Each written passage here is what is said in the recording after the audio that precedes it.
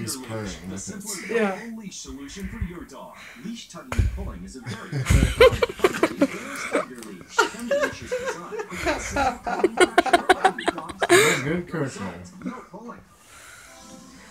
All right, so we're back with my panel now. Let's continue the conversation. Mark Preston, you, you, Yeah, you it's know, you Coco. the Supreme Court and all that. What makes Republicans think that he is actually going to, you know, I told you. a Uh, grinder. Yeah.